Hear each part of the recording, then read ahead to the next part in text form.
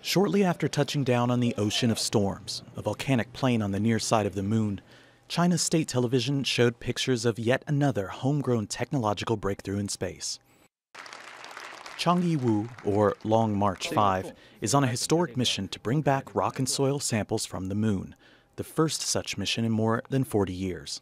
This movement is the first step. It steadily landed on the surface, very steady and very good, laying a very important foundation for the next steps. The lander has a number of instruments to make this happen, including a camera as well as scoop and drill capabilities. Next, there's the drilling and collecting of samples on the surface, unfolding the national flag, and making preparations for taking off. If all goes to plan, two kilograms of rock and soil samples will be brought to Earth later this month, with hopes of learning more about the moon's origins, formation, and volcanic activity.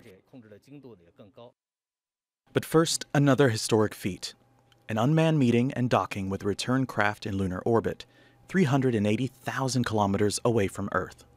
Although we've done the landing twice before this mission, the lander is heavier than the Jade Rabbit rover, so it's harder to control and requires more precision. That mission last year landed a rover on the dark side of the moon, which has never been done before. It's still roaming around, exploring the surface, and sending back images like these. Billions of dollars are being poured into China's military run space program, which has ambitious plans in store, including building a moon base in the coming years and a space station with a permanent crew. The mission is expected to wrap up when the spacecraft returns with its samples, likely to land in Inner Mongolia later this month. Andrew Chappelle, Al Jazeera.